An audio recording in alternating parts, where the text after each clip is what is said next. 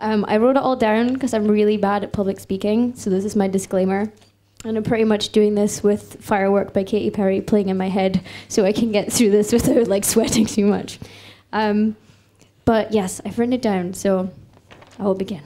Um, as evidenced, I am not a very naturally brave person. I'm not very naturally fearless in any way. But there are people that inspire me to be better and do better. And since I've been a teenager, Kathleen Hanna has been one of those people. And I read something when I was a teenager that she had said, and it really stuck with me. And she had said, You learn that the only way to get rock star power as a girl is to be a groupie and bare your breasts and get chosen for the night. We learn that the only way to get anywhere is through men, and that is a lie. No offense to any of the gentlemen in the audience. Um, I work in an industry which, to put it mildly, is not necessarily designed in the best interests of women. So I can stand here all day and talk about, tell you anecdotes of times that terrible sexist things have happened to me and how it's not great for women in the music industry, but we all know that. But I think without women like Kathleen Hanna who have gone before me, my job would be so much harder than it already is. So I think these are the women that taught me that it's okay to do things your way and do your career in a way that you want to do, that you can make the art that you want to make and pursue that in a way that makes you comfortable and not in a way that other people have told you that you should.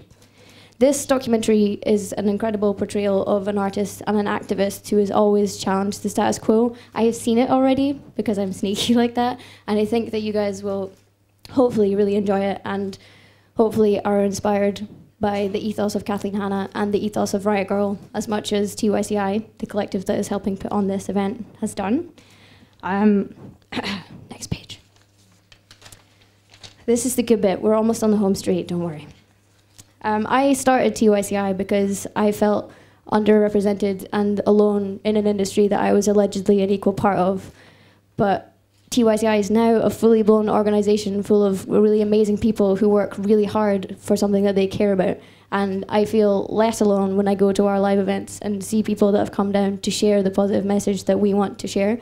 And I feel less alone when people tell me that two screenings of a film about a female activist have sold out at a film festival, and you guys did that, so thanks.